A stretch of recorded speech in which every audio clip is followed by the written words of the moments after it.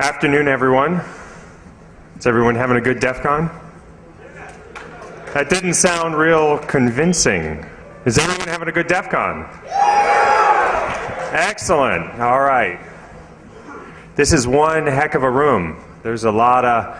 Apologize if I can't make eye contact with everyone, but I'll try. So, um, thank you uh, for coming to this talk. Uh, I'm going to talk about um, air traffic control Insecurity 2.0. How many people came to my talk last year? Yes, I did. So, wow, not that many. Oh, okay. Well, it's out on the web. One hand over there still raised. So let's let's just get right into it. Um, you know, I've got 20 minutes, um, and you always have too many slides, so I've tried to pare it down. Um, so I'll talk a little bit about who I am, overview from last year, um, some insecurities today, and a little proposal that I'm proposing out to the crowd.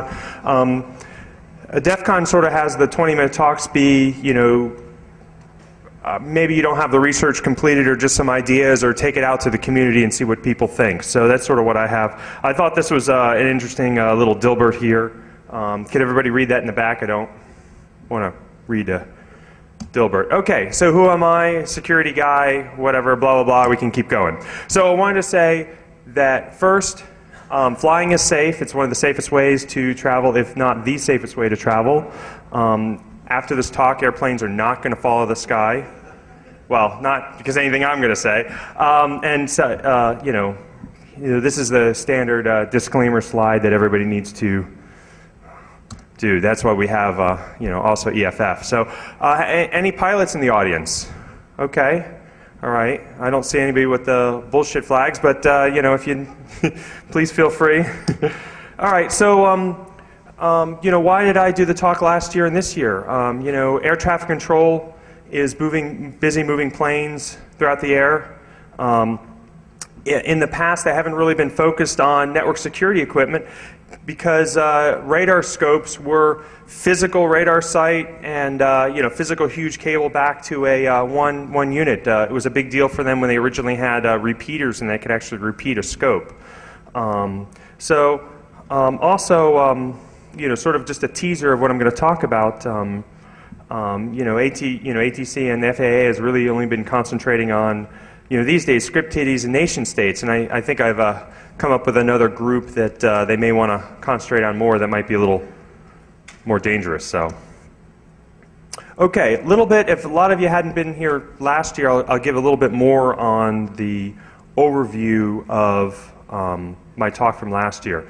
So. Um, we talked about how the ATC was running, um, you know, disk operating system. No, no, no. The uh, denial of service attack on an ATC flight plan. So I proposed last year the idea that let's not take a look at, um, you know, anything with, you know, boarding on planes or anything like, like that. Let's take a look at um, if we can find a way to do a denial of service attack to stop airplanes from being able to take off. So with commercial flights these days on instrument flight plans, they actually need to submit their flight plan into air traffic control. Air traffic control will give them the routing information back, and then the planes are allowed to take off. So um, the idea was if you could find a way to stuff a lot of fake or bogus flight plans into that central machine, um, and overwhelm it, potentially, um, you know, normal flight plans of airlines would not be able to, uh, you know, wouldn't happen. So I thought it was interesting that I got to talk to some uh, people from the FAA, very positive, uh, last year, and they admitted, oh yeah, um, and we did this to ourselves.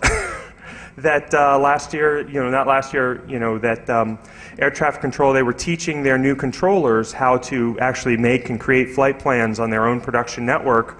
And in teaching the students on their own production network, the students were hitting the submit button and actually inputting bogus plans into the flight system. So, oh well, I, I guess it was a little justification that uh, potentially that, uh, you know, whole. Now, they have done some things to uh, uh mitigate that. Um, to look at the you know, number of flight plans per minute that get inputted in the system, and they have some circuit breakers that they've put in um, for that. Um, a lot of uh, just to make sure their own controllers don't, don't do it again. Um, last year I also talked about uh, next gen, um, this next gen that's going to uh, cure cancer and uh, you know uh, it's unbelievable. The uh, next gen is the overcompassing word that the FAA has been using to solve every problem that they have. Um, the idea of uh, um, the idea that um, to be able to reduce delays in all the airports around the country, um, to be able to have airplanes be able to um, vector themselves and get to locations quicker. Um, and one of those pieces is this, uh, is this piece of technology called ADSB, which I mentioned uh, last year. ADSB is a way that each airline, airliner themselves would actually broadcast their latitude, longitude, altitude, and who they are identification uh, in a clear text packet, um, which I thought was interesting. Um, and the idea with ADSB is um, that radar sites are expensive.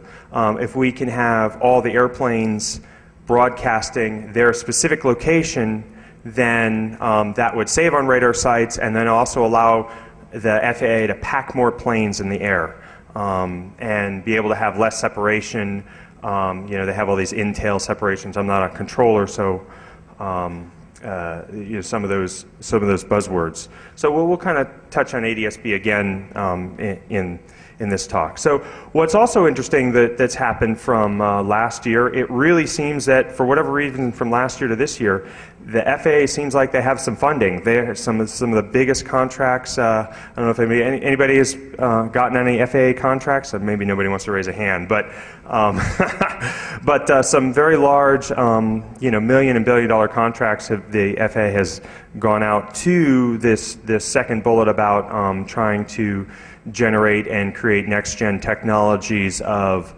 um, you know, the, these ideas of, you know, an air traffic control tower that could be virtual um, and have one control tower in one central location, and that one control tower would be able to be turned on and, you know, work in San Francisco or, or, or any control tower. Um, it, it's kind of interesting. So also, it's been a little disappointing. Some of my um, you know, people that I've met through the FAA, there sort of seems to be a little bit of brain drain. Um, I don't know, maybe that's just normal ebb of flow of things, but I just found that, um, you know, a little interesting of, um, you know, some people getting frustrated of, uh, of the, you know, FAA administration.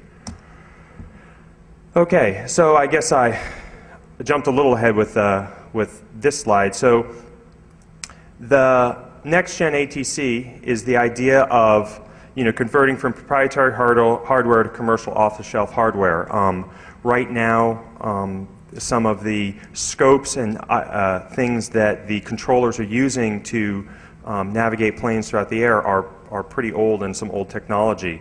Um, and you know, just like anything, this first bullet, you know, I could even cover and say ATC. You know, the the the power companies and SCADA and, and a lot of people have seen once when you switch from proprietary hardware to commercial off the shelf, you introduce a whole lot of things. Um, the FAA also um, was they had all these dedicated links around the country, and now they're doing more VPN and, and trying to use more internet. Classic things you hear, you know, in you know in the enterprise and large corporations of the you know all the same problems you all might might think of.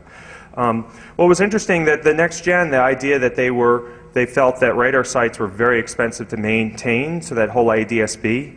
But then you have um, things like, well, you know, as, as far as NORAD now responsible for tracking all airplanes inside the country as well as outside, um, NORAD still has responsibilities for uh, wanting those radar sites for, for reasons. So, um, you know, the initial thing that there would be a major cost savings getting rid, getting rid of radar sites seems that it's not that true anymore, that they're still needing to keep them around. And then this idea of um, you know switching from a radar uh, sweep to generally knowing where our airplane is from every airplane out there, um, mandatory having a um, transponder that'll report latitude, longitude, altitude in, in clear text. And that's this idea of ADSB. Uh, just recently, the FAA um, mandated that that will be a requirement for most airlines in the um, in very bu in busy airspace by 2020.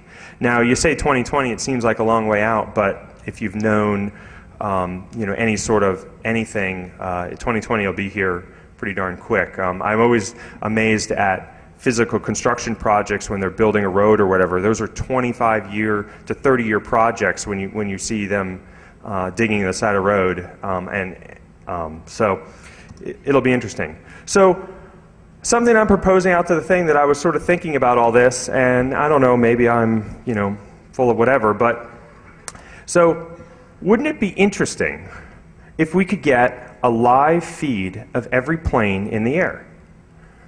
Um, you know, we've all been out to those websites that uh, um, you can track live flights. You know, we've probably all tracked our spouse's flight as it goes across the country. Realize that's not all. That's a subset of the planes um, that are out there. Um, you know, and you know the idea: do you climb fences or hack the FAA to get that? Um, and then I thought, you know, um, maybe there's another way. So and I, I, like this quote, and I know everybody says that anytime you see a quote, it could be taken out of context. Um, but you know, the FAA notes that there is no right to privacy when operating the NAS, National Airspace System. So, no right to privacy. Um, and specifically, what I was thinking about was there are uh, how many people came here to DEF CON on an executive jet? Anybody? Executive jets? No. You can. It's okay to raise your hand. Oh, I got one. Good for you. Good for you to be brave. A two, maybe. Good for you. I want to be your friend.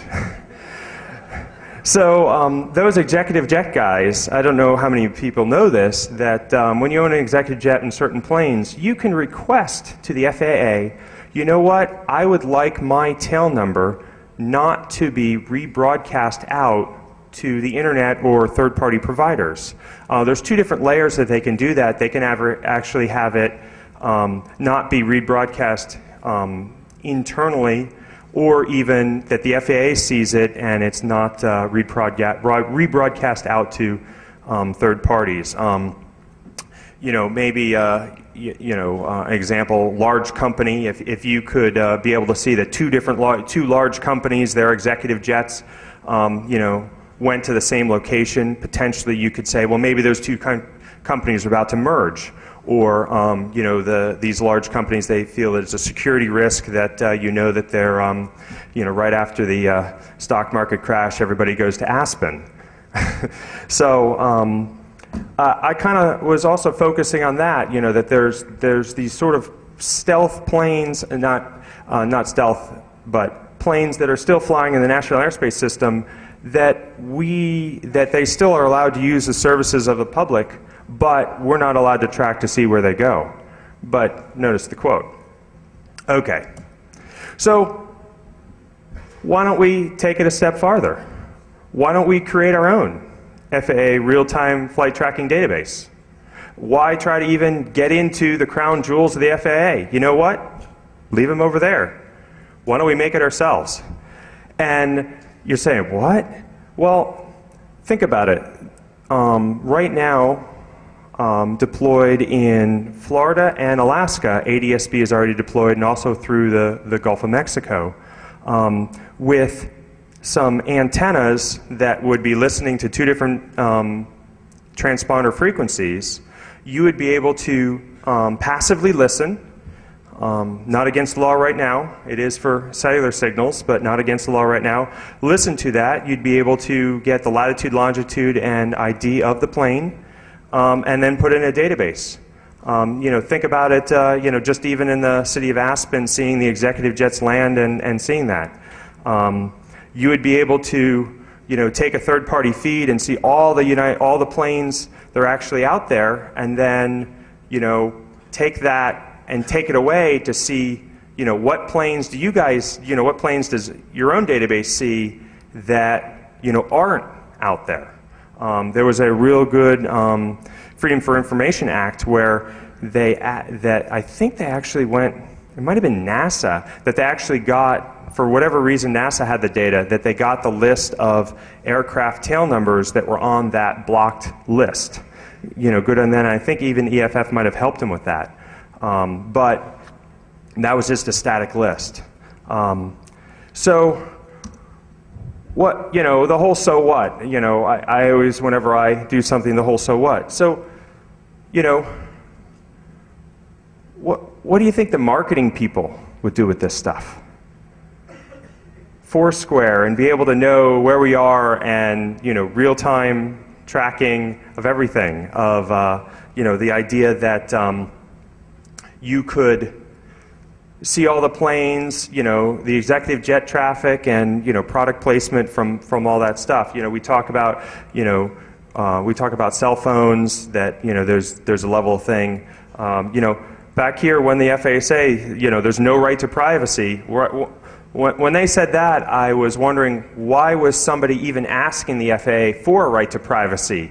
Um, and uh, you know, I thought it was a really interesting idea um, about that. So, you know, this also is one of the fields the FAA, you know, that the air traffic control and FAA. There's this is just uh, you know an un, untapped market out there for looking at things that uh, are out there. Um, you know a friend of mine has you know, presented at a FAA conference, and he was trying to challenge the FAA to reach out to all of you. There's a lot of smart people in this room, more, you know, more than I am. Maybe, maybe this is you know, not that great of an idea. Maybe it's, you know, I don't know. Uh, you know, so I kind of look at, uh, you know, marketing as, um, you know, potentially good or evil. I, I'm not into that whole, um, you know, walking by a billboard and you know it's me and I get a product placement ad for, for me.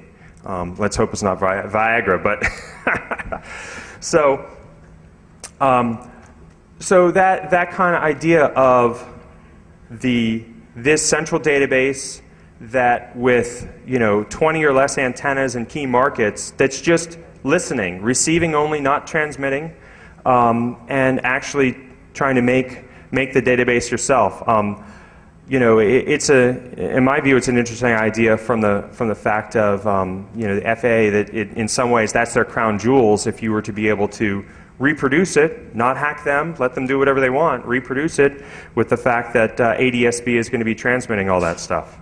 So, kind of, kind of neat idea. Um, so, and then also, you know, if anybody wants to help, uh, you know, please feel free to, you know, come talk to me, um, and maybe you got another idea um, that you want. Um, so, you know, it talked about that. You know, obviously it was a, a, a, little quick for the talk. I'll take just one or two quick questions, and I know that they're going to cut me right off at, at uh, 20 minutes because uh, there's another speaker here. Yes, sir, I'll try to repeat your question. Go ahead. Oh, do I have any technical references for the format? Yes, it's, they're all out there on the internet, the internets. Um, the ADSB protocols and everything. And right now, uh, UPS airline, U, yeah, uh, UPS, yeah, UPS is actually they they've equipped all their aircraft with ADSB. Uh, the Capstone project in Alaska, they have their planes. Um, now, from a safety point of view, yes, uh, they've in Alaska they had a lot of um, safety positive with ADSB from um, being able to now see small planes in there where radar coverage was not not to that extent. So, uh, any Yes.